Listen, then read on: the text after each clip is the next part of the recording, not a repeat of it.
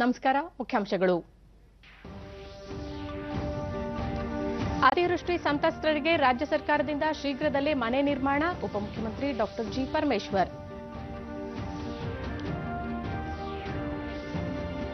ರಾಜ್ಯದ ಮಳೆ ಬಾಧಿತ ಪ್ರದೇಶಗಳಲ್ಲಿ ಪರಿಹಾರ ಕಾರ್ಯ ಚುರುಕು, ಮೂರು ಸಾವಿರದ ಐನೂರಕ್ಕೂ ಹೆಚ್ಚು ಮಂದಿ ರಕ್ಷಣೆ.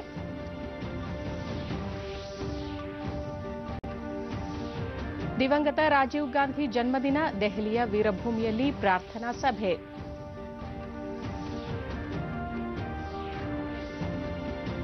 ಹದಿನೆಂಟನೇ ಏಷ್ಯನ್ ಕ್ರೀಡಾಕೂಟ ಭಾರತದಿಂದ ಮುಂದುವರೆದ ಪದಕ ಬೇಟೆ.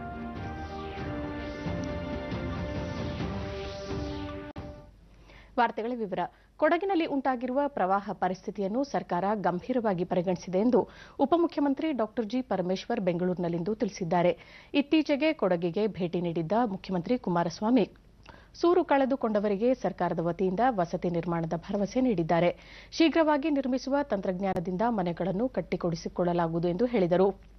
ಬಿಬಿಎಂಪಿ ವತಿಯಿಂದ ಮುಖ್ಯಮಂತ್ರಿಗಳ ಪರಿಹಾರ ನಿಧಿಗೆ ಒಟ್ಟು ಮೂರು ಕೋಟಿ ಹದಿನೆಂಟು ಲಕ್ಷ ರೂಪಾಯಿ ನೀಡಲಾಗುವುದು ಎಂದ ಪರಮೇಶ್ವರ್. ಕೇರಳಕ್ಕೆ ಒಂದು ಕೋಟಿ ರೂಪಾಯಿ ಹಾಗೂ ಕೊಡಗು ಜಿಲ್ಲೆಗೆ ಎರಡು ಕೋಟಿ ಹದಿನೆಂಟು ಲಕ್ಷ ರೂಪಾಯಿ ಚೆಕ್ ವಿತರಿಸಲಾಗುವುದು ಎಂದರು. ಇಂದು ಕೊಡಗು ಜಿಲ್ಲೆಯ ಉಸ್ತುವಾರಿ ಸಚಿವರಾದ ಸಾರಾ ಮಹೇಶ್ ಜೊತೆ ಜಿಲ್ಲೆಗೆ ಭೇಟಿ ನೀಡುವುದಾಗಿ ತಿಳಿಸಿದ ಅವರು ಪೊಲೀಸರು ಹಾಗೂ ಬಿಬಿಎಂಪಿ ಸಿಬ್ಬಂದಿ ನೆರೆ ಸಂತ್ರಸ್ತರಿಗೆ ಒಂದು ದಿನದ ವೇತನ ನೀಡಲು ತೀರ್ಮಾನಿಸಿದ್ದಾರೆ ಎಂದರು. ತ್ವರಿತವಾಗಿ ಯಾರಿಗೂ ಕೂಡ ತೊಂದರೆ ಆಗದಾಗೆ ಸರ್ಕಾರ ಮಾಡಿದೆ. ನಮ್ಮ ಜಿಲ್ಲಾ ಸಚಿವರು ಸಾರ ಮಹೇಶ್ ಅವರು ಅಲ್ಲೇ ಕ್ಯಾಂಪ್ ಮಾಡಿ ಅಲ್ಲಿ ಅವರು ರೆಸ್ಕ್ಯೂ ಆಪರೇಷನ್ಸ್ ಕೂಡ ಎಲ್ಲ ನೋಡಿದ್ದಾರೆ. ನಿನ್ನೆ ಮಾನ್ಯ ಮುಖ್ಯಮಂತ್ರಿಗಳು ಕೂಡ ಭೇಟಿ ಕೊಟ್ಟಿದ್ದಾರೆ. ಇವತ್ತು ನಾವು ಬಿ ಬಿ ಎಂ ಪಿ ವತಿಯಿಂದ ಬೆಂಗಳೂರು ಮಹಾನಗರ ಪಾಲಿಕೆ ವತಿಯಿಂದ ನಮ್ಮ ಚೀಫ್ ಮಿನಿಸ್ಟರ್ಸ್ ರಿಲೀಫ್ ಫಂಡಿಗೆ ಮೂರು ಕೋಟಿ ಹದಿನೈ ಹದಿನೆಂಟು ಲಕ್ಷ ಹಣವನ್ನು ಅವರು ಕಲೆಕ್ಟ್ ಮಾಡಿ ಕೊಡ್ತಾ ಕೊಟ್ಟಿದ್ದಾರೆ. ಕೋಟಿ ಕೇರಳ ಒಂದು ಕೋಟಿ ಕೇರಳಕ್ಕೆ ಕೊಡ್ತಾ ಇದ್ದಾರೆ.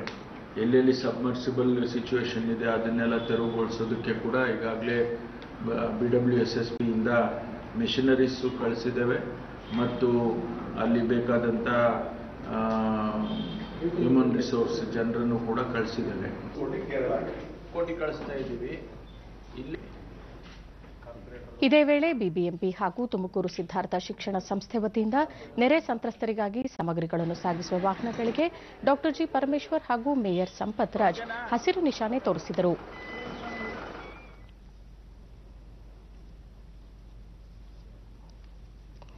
ಕೇರಳ ಮತ್ತು ಕೊಡಗಿನ ಅತಿವೃಷ್ಟಿ ಸಂತ್ರಸ್ತರಿಗೆ ಉಡುಪಿ ಜಿಲ್ಲಾಡಳಿತದ ನೇತೃತ್ವದಲ್ಲಿ ರೋಟರಿ ಕ್ಲಬ್ ಮಣಿಪಾಲ ಹಿಲ್ಸ್ ಹಾಗೂ ವಿವಿಧ ಸಂಘ ಸಂಸ್ಥೆಗಳಿಂದ ಅಗತ್ಯ ಸಾಮಗ್ರಿ ಸಂಗ್ರಹ ಮೂರು ದಿನಗಳ ಅಭಿಯಾನ ಹಮ್ಮಿಕೊಂಡಿದೆ.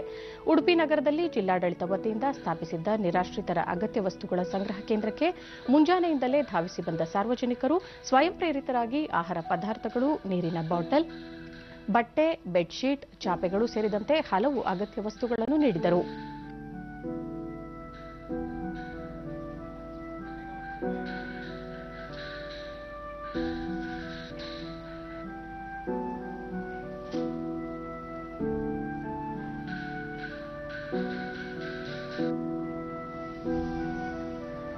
ನಾವು ನಮ್ಮ ಕಾಲೇಜ್ ಪರ್ಮಿಷನ್ ವಿದ್ಯಾರ್ಥಿ ವಿಕಾಸ್ ನಮ್ಮ ಕಾಲೇಜಿನ ವಿದ್ಯಾರ್ಥಿಗಳ ತಂಡ ದಿನಬಳಕೆಯ ವಸ್ತುಗಳನ್ನು ಖರೀದಿಸಿ ಪರಿಹಾರ ಕೇಂದ್ರದ ಮೂಲಕ ನೆರವು ನೀಡಿದ್ದೇವೆ ಎಂದರು. ತಗೊಂಡ್ಬಂದ್ವಿ ಒಂದ್ ಸ್ವಲ್ಪ ಐಟಮ್ಸ್ ತಂದ್ಕೊಡ್ಬೇಕು ಅಂತಿದೀವಿ. ಇವಾಗ ಕೇರಳನಲ್ಲಿ ಪರಿಸ್ಥಿತಿ ತುಂಬಾ ಹದ್ಗೆಟ್ಟೋಗಿದೆ. ಅದಕ್ಕೆ ನಮ್ ಕೈಲಿ ಆದಷ್ಟು ಸಹಾಯ ಮಾಡ್ತಿದೀವಿ ನಾವು. ಕುಡಿಯುವ ನೀರಿನ ಡಿಡಿ ನ್ಯೂಸ್ ನ್ಯೂಸ್ನೊಂದಿಗೆ ರೋಟರಿ ಮಾಜಿ ಗವರ್ನರ್ ಬಾಲಕೃಷ್ಣ ಮದ್ದೋಡಿ. ಸಂತ್ರಸ್ತರ ನೆರವಿಗೆ ಜನರಿಂದ ಉತ್ತಮ ಸ್ಪಂದನೆ ಸಿಕ್ಕಿದೆ. ಅಗತ್ಯ ದಿನಬಳಕೆಯ ವಸ್ತುಗಳನ್ನು ನೀಡುವ ಮೂಲಕ ಉದಾರತೆ ತೋರಿದ್ದಾರೆ ಎಂದು ಮೆಚ್ಚುಗೆ ವ್ಯಕ್ತಪಡಿಸಿದರು. ಈ ರೀತಿಯ ತಿಂಡಿ ತಿನಿಸುಗಳನ್ನು ಕೊಡಿ ಅಂತ ಕೇಳ್ಕೊಂಡಾಗ ಆ ಒಂದು ಬಿಸ್ಕಿಟ್ ಮತ್ತು ಅದರ ತಿನ್ನುವಂತಹ ದಿನ ತಿನ್ನುವಂತಹ ವಸ್ತುಗಳು ಮಹಾಪೂರವಾಗಿ ಹರಿದು ಬಂದಿದೆ. ಹೊಸ ಬಟ್ಟೆಯನ್ನು ಮಾತ್ರ ನಾವು ಕೊಡಬೇಕು ಅಂತ ನಮ್ಗೆ ಕೊಟ್ಟಂತ ಎಲ್ಲ ಬಟ್ಟೆಗಳು ನಾವೇನು ಶೇಖರಣೆ ಮಾಡಿದ್ದೇವೆ. ಎಲ್ಲವೂ ಕೂಡ ಹೊಸ ಬಟ್ಟೆಗಳು. ಅದೊಂದು ನಾನು ಅಪ್ರಿಷಿಯೇಟ್ ಮಾಡಬೇಕು. ಯಾಕಂದ್ರೆ ನಮ್ಮ ಜನರಿಗೆ ಉದಾರವಾಗಿ ಮನೋಭಾವನೆ ಇದೆ ಅನ್ನೋದನ್ನ ಇದರಲ್ಲಿ ವ್ಯಕ್ತವಾಗ್ತಾ ಇದೆ. ಕೊಡಗಿನಲ್ಲಿ ಸುರಿದ ಭಾರೀ ಮಳೆ ಪರಿಣಾಮ ಭೂಕುಸಿತ ಹಾಗೂ ಪ್ರವಾಹ ಪರಿಸ್ಥಿತಿ ಉಂಟಾಗಿ ಜನಜೀವನ ಅಸ್ತವ್ಯಸ್ತಗೊಂಡಿದೆ. ಇಲ್ಲಿಯವರೆಗೂ ಕಾರ್ಯಾಚರಣೆಯಲ್ಲಿ ಮೂರು ಸಾವಿರದ ಐನೂರಕ್ಕೂ ಹೆಚ್ಚು ಮಂದಿಯನ್ನು ಇದುವರೆಗೆ ರಕ್ಷಿಸಲಾಗಿದೆ. ಹದಿನೇಳು ಕಡೆ ಪರಿಹಾರ ಶಿಬಿರ ತೆರೆಯಲಾಗಿದ್ದು, ಅಗತ್ಯ ಸಾಮಗ್ರಿಗಳನ್ನು ಪೂರೈಸಲಾಗುತ್ತಿದೆ. ಭಾರತೀಯ ಸೇನೆ ಹಾಗೂ ರಾಜ್ಯ ನಾಗರಿಕ ರಕ್ಷಣಾ ಪಡೆ ಸಂತ್ರಸ್ತರ ರಕ್ಷಣೆಗೆ ಮುಂದಾಗಿದ್ದು, ಪರಿಹಾರ ಕಾರ್ಯಗಳನ್ನು ಚುರುಕುಗೊಳಿಸಲಾಗಿದೆ.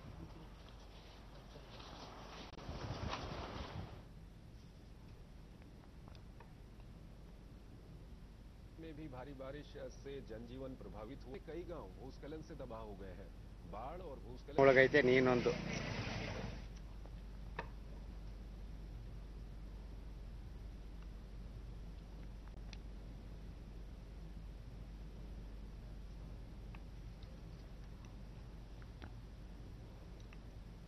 ಭೂಕುಸಿತದಿಂದ ಸಂತ್ರಸ್ತರಾದ ಕೊಡಗು ಜಿಲ್ಲೆಯ ಸಂಪಾಜೆ ಬಳಿಯ ಸಂತ್ರಸ್ತರ ಕೇಂದ್ರಗಳಿಗೆ ಹಾಗೂ ಭೂಕುಸಿತ ಸಂಭವಿಸಿದ ಸ್ಥಳಗಳಿಗೆ ಕಂದಾಯ ಸಚಿವ ಆರ್ವಿ ದೇಶಪಾಂಡೆ ನಿನ್ನೆ ಭೇಟಿ ನೀಡಿ ಪರಿಹಾರ ಕಾರ್ಯದ ಪರಿಶೀಲನೆ ನಡೆಸಿದರು. ಇದೇ ವೇಳೆ ಮಳೆಯ ಅವಘಡಕ್ಕೆ ಸಾವನ್ನಪ್ಪಿದ ಕುಟುಂಬದ ಇಬ್ಬರು ಸದಸ್ಯರಿಗೆ ತಲಾ ಐದು ಲಕ್ಷ ರೂಪಾಯಿ ಪರಿಹಾರದ ಚೆಕ್ ವಿತರಣೆ ಮಾಡಿದರು. ವಸತಿ ಸಚಿವ ಯುಟಿ ಖಾದರ್ ಸೇರಿದಂತೆ ಮತ್ತಿತರರು ಈ ವೇಳೆ ಉಪಸ್ಥಿತರಿದ್ದರು.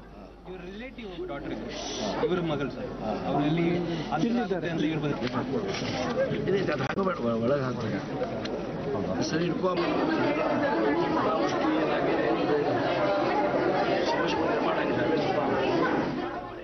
ಸಂಪಾಜೆ ಮಡಿಕೇರಿ ರಸ್ತೆಯ ಹಲವೆಡೆ ಭೂಕುಸಿತ ಸಂಭವಿಸಿದ್ದು, ಇದರ ದುರಸ್ತಿಗೆ ಮೂರು ತಿಂಗಳು ಬೇಕಾಗಬಹುದು. ಅಲ್ಲದೆ ತೋಟಗಳು ಭೂಕುಸಿತಕ್ಕೆ ಕೊಚ್ಚಿ ಹೋಗಿವೆ ಎಂದು ಸಂತ್ರಸ್ತರು ಸಚಿವರ ಬಳಿ ಅಹವಾಲು ತೋಡಿಕೊಂಡರು. ಸಂತ್ರಸ್ತರಿಗೆ ಬೇಕಾದ ಆಹಾರ, ಔಷಧಿ ವ್ಯವಸ್ಥೆ ಬಗ್ಗೆ ಸಚಿವರು ಪರಿಶೀಲನೆ ನಡೆಸಿದರು. ಮಹಾಮಳೆಯಿಂದಾಗಿ ಬಹುತೇಕ ಶತಮಾನದ ನಂತರ ಭೀಕರ ಪರಿಸ್ಥಿತಿ ಎದುರಿಸುತ್ತಿರುವ ಕೇರಳದ ಅನೇಕ ಜಿಲ್ಲೆಗಳಲ್ಲಿ ಪ್ರವಾಹದ ಪ್ರಮಾಣ ಇಳಿಮುಖಗೊಂಡಿದೆ. ಹೀಗಾಗಿ ಪರಿಹಾರ ಮತ್ತು ರಕ್ಷಣಾ ಕಾರ್ಯ ಚುರುಕುಗೊಂಡಿದೆ. ಕಾರ್ಯಾಚರಣೆ ಸಲುವಾಗಿ ರಾಷ್ಟೀಯ ವಿಪತ್ತು ಪ್ರತಿಕ್ರಿಯಾ ಪಡೆ ಎನ್ಡಿಆರ್ಎಫ್ ಐವತ್ತೆಂಟು ತಂಡಗಳನ್ನು ನಿಯೋಜಿಸಿದೆ. ಎರಡು ಸಾವಿರದ ಆರರಲ್ಲಿ ಎನ್ಡಿಆರ್ಎಫ್ ಸ್ಥಾಪನೆಯಾದ ನಂತರ ಒಂದು ರಾಜ್ಯದಲ್ಲಿ ಇಷ್ಟೊಂದು ತಂಡಗಳನ್ನು ನಿಯೋಜಿಸಿರುವುದು ಇದೇ ಮೊದಲ ಸಲವಾಗಿದೆ. ಕೆಲವು ಸ್ಥಳಗಳಲ್ಲಿ ಪರಿಸ್ಥಿತಿ ಸುಧಾರಿಸುತ್ತಿದ್ದರೂ ತಿರುವೆಲ್ಲ ಚಂಗನೂರ್, ಅಲುವಾ ಮತ್ತು ಪಟ್ಟಣಂತಿಟ್ಟ ಸೇರಿದಂತೆ ತೀವ್ರ ಸಂಕಷ್ಟಕ್ಕೆ ಸಿಲುಕಿದ್ದ ಸ್ಥಳಗಳಲ್ಲಿ ವ್ಯಾಪಕ ರಕ್ಷಣಾ ಕಾರ್ಯ ಮುಂದುವರೆದಿದೆ. ಈವರೆಗೆ ಮೂವತ್ತೆಂಟು ಸಾವಿರ ಜನರನ್ನು ರಕ್ಷಿಸಲಾಗಿದೆ.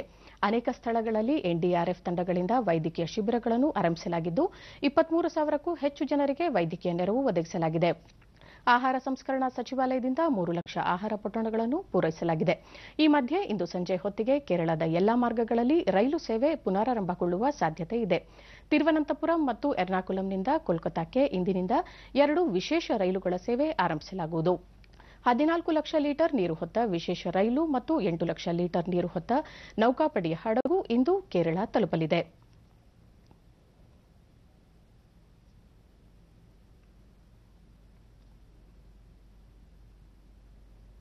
ಇಂದು ಬೆಳಗ್ಗೆ ಏರ್ ಇಂಡಿಯಾದ ಮೊದಲ ವಾಣಿಜ್ಯ ವಿಮಾನ ಕೊಚ್ಚಿನ್ ವಿಮಾನ ನಿಲ್ದಾಣದಲ್ಲಿ ಇಳಿದಿದೆ. ನಾಗರಿಕ ವಿಮಾನಯಾನ ಸೇವೆ ಇನ್ನಷ್ಟು ಹೆಚ್ಚಾಗುವ ನಿರೀಕ್ಷೆ ಇದೆ.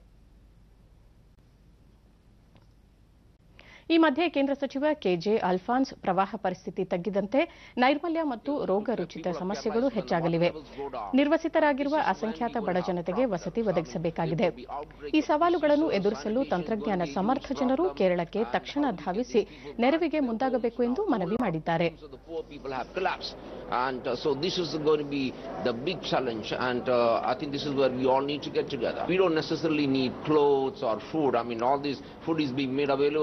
uh, of India in plenty. So that's really is not a problem. I think what we need is people with technical capabilities to rush to Kerala. And these are the people who, whom we require put, to put life back into, into Kerala.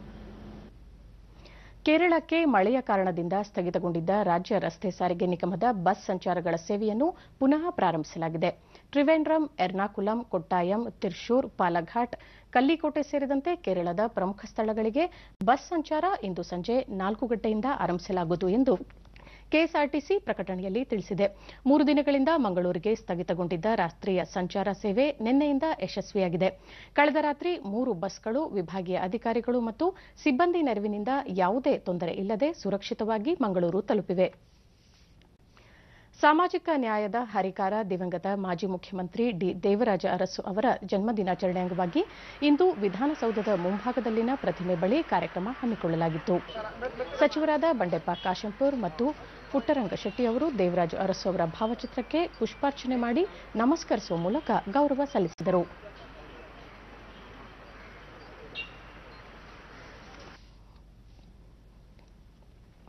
ಮಾಜಿ ಪ್ರಧಾನಿ ರಾಜೀವ್ ಗಾಂಧಿ ಎಪ್ಪತ್ನಾಲ್ಕನೇ ಜನ್ಮದಿನದ ಅಂಗವಾಗಿ ದೆಹಲಿಯಲ್ಲಿಂದು ಕಾಂಗ್ರೆಸ್ ಪಕ್ಷದ ವತಿಯಿಂದ ಸದ್ಭಾವನಾ ದಿವಸ ಆಚರಿಸಲಾಯಿತು.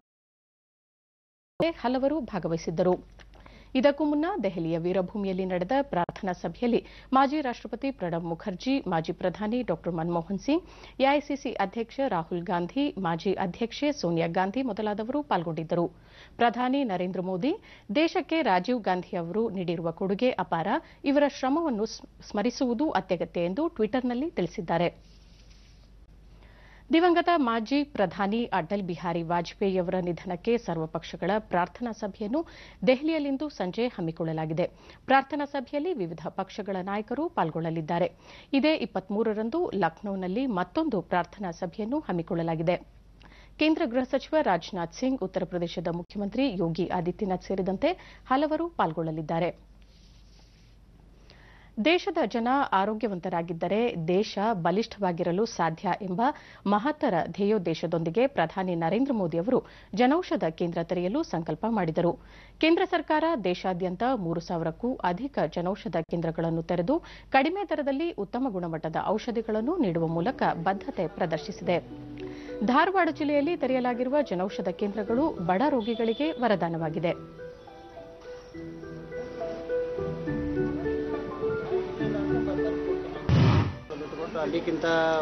ಫಲಾನುಭವಿ ವಸಂತರಾವ್ ಕಿಲ್ಲೇದಾರ್ ಕಳೆದ ವರ್ಷ ಹೃದಯದ ಶಸ್ತ್ರಚಿಕಿತ್ಸೆಯಾಗಿತ್ತು.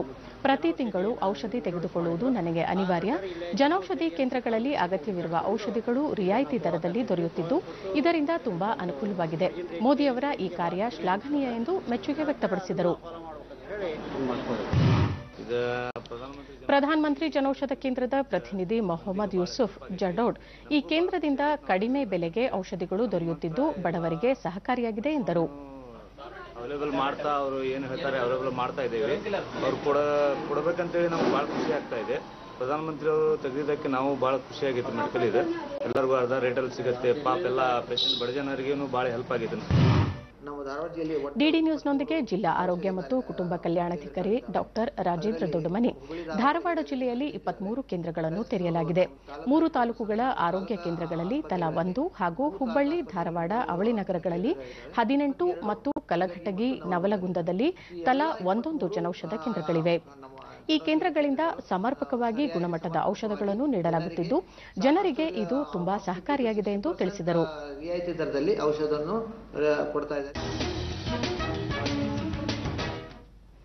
ಇಂಡೋನೇಷ್ಯಾದ ಜಕಾರ್ತದಲ್ಲಿ ನಡೆಯುತ್ತಿರುವ ಹದಿನೆಂಟನೇ ಏಷ್ಯನ್ ಕ್ರೀಡಾಕೂಟದ ಪುರುಷರ ಏರ್ ರೈಫಲ್ ಹತ್ತು ಮೀಟರ್ ದೂರದ ಸ್ಪರ್ಧೆಯಲ್ಲಿ ಇನ್ನೂರ ನಲವತ್ತೇಳು ಪಾಯಿಂಟ್ ಏಳು ಅಂಕ ಗಳಿಸಿದ ಭಾರತದ ದೀಪಕ್ ಕುಮಾರ್ ಇಂದು ಬೆಳ್ಳಿ ಪದಕವನ್ನು ತಮ್ಮದಾಗಿಸಿಕೊಂಡರು. ಚೈನಾದ ಸ್ಪರ್ಧಿ ಚಿನ್ನ ಗೆದ್ದರೆ ಚೈನೀಸ್ ತೈಪೆಯ ಸ್ಪರ್ಧಿ ಕಂಚು ಗೆದ್ದರು. ಭಾರತದ ಇನ್ನೋರ್ವ ಸ್ಪರ್ಧಿ ರವಿಕುಮಾರ್ ನಾಲ್ಕನೇ ಸ್ಥಾನಕ್ಕೆ ತೃಪ್ತಿ ಪಟ್ಟುಕೊಂಡರು ಅರವತ್ತೈದು ಕೆಜಿ ವಿಭಾಗದ ಕುಸ್ತಿ ಪಂದ್ಯಾವಳಿಯಲ್ಲಿ ಭಾರತದ ಬಜರಂಗ್ ಪುನಿಯಾ ಚಿನ್ನದ ಪದಕ ಗೆದ್ದುಕೊಂಡಿದ್ದಾರೆ. ಮಿಶ್ರ ಏರ್ ರೈಫಲ್ಸ್ನಲ್ಲಿ ಶೂಟರ್ ಅಪೂರ್ವಿ ಚಂಡೇಲಾ ಮತ್ತು ರವಿಕುಮಾರ್ ಜೋಡಿ ನಾನೂರ ಇಪ್ಪತ್ತೊಂಬತ್ತು ಪಾಯಿಂಟ್ ಎಂಟು ಸೊನ್ನೆ ಅಂಕ ಗಳಿಸಿ ಭಾರತಕ್ಕೆ ಕಂಚಿನ ಪದಕ ಗಳಿಸಿಕೊಡುವಲ್ಲಿ ಯಶಸ್ವಿಯಾದರು. ಚೈನಾದ ತೈಪೆಯ ಯಂಗ್ಶಿನ್ ಲಿನ್ ಮತ್ತು ಶಾವೋಚುವಾ ಲೂ ಲು ಅವರು ಚಿನ್ನದ ಪದಕ ಪಡೆದರು. ಭಾರತದ ಮಹಿಳಾ ಕಬಡ್ಡಿ ತಂಡ ಸಹ ಮೊದಲ ಗೆಲುವು ದಾಖಲಿಸಿ ಜಪಾನ್ ತಂಡವನ್ನು ನಲವತ್ಮೂರು, ಹನ್ನೆರಡು ಅಂಕಗಳಿಂದ ಮಣಿಸಿದೆ. ಭಾರತೀಯ ಪುರುಷರ ಕಬಡ್ಡಿ ತಂಡ ಬಾಂಗ್ಲಾದೇಶವನ್ನು ಮಣಿಸಿ ಗೆಲುವು ಸಾಧಿಸಿದೆ. ಪದಕ ಪಟ್ಟಿಯಲ್ಲಿ ಚೈನಾ ಏಳು ಚಿನ್ನ, ಐದು ಬೆಳ್ಳಿ, ನಾಲ್ಕು ಕಂಚಿನ ಪದಕ ಪಡೆದುಕೊಂಡು ಮೊದಲ ಸ್ಥಾನದಲ್ಲಿದ್ದರೆ ಕೊರಿಯಾ ಎರಡು ಚಿನ್ನ, ಮೂರು ಬೆಳ್ಳಿ, ಆರು ಕಂಚಿನ ಪದಕ ಪಡೆದು ಎರಡನೇ ಸ್ಥಾನದಲ್ಲಿದೆ. ಭಾರತ ಒಂದು ಚಿನ್ನ, ಒಂದು ಬೆಳ್ಳಿ, ಒಂದು ಕಂಚಿನ ಪದಕ ಪಡೆದು ಹನ್ನೊಂದನೇ ಸ್ಥಾನದಲ್ಲಿದೆ. ಕೊನೆಯಲ್ಲಿ ಮತ್ತೊಮ್ಮೆ ಮುಖ್ಯಾಂಶಗಳು. ಅತಿವೃಷ್ಟಿ ಸಂತ್ರಸ್ತರಿಗೆ ರಾಜ್ಯ ಸರ್ಕಾರದಿಂದ ಶೀಘ್ರದಲ್ಲೇ ಮನೆ ನಿರ್ಮಾಣ, ಉಪಮುಖ್ಯಮಂತ್ರಿ ಡಾಕ್ಟರ್ ಜಿ ಪರಮೇಶ್ವರ್. ರಾಜ್ಯದ ಮಳೆ ಬಾಧಿತ ಪ್ರದೇಶಗಳಲ್ಲಿ ಪರಿಹಾರ ಕಾರ್ಯ ಚುರುಕು, ಮೂರು ಸಾವಿರದ ಐನೂರಕ್ಕೂ ಹೆಚ್ಚು ಮಂದಿ ರಕ್ಷಣೆ.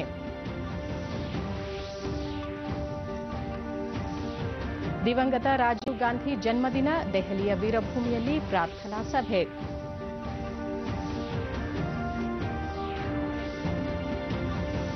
ಹದಿನೆಂಟನೇ ಏಷ್ಯನ್ ಕ್ರೀಡಾಕೂಟ ಭಾರತದಿಂದ ಮುಂದುವರೆದ ಪದಕ ಬೇಟೆ.